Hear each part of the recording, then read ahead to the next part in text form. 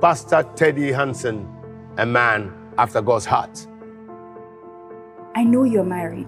You're faithful and righteous. My man is on fire. The devil's in trouble. He's anointed. Let him that thinks he stands I can't fight it anymore. take heed lest he falls. This issue has projected a bad image. Tell me it is not true. Do you still love her? Yes, I do. A Taste of Sin, now showing on Netflix.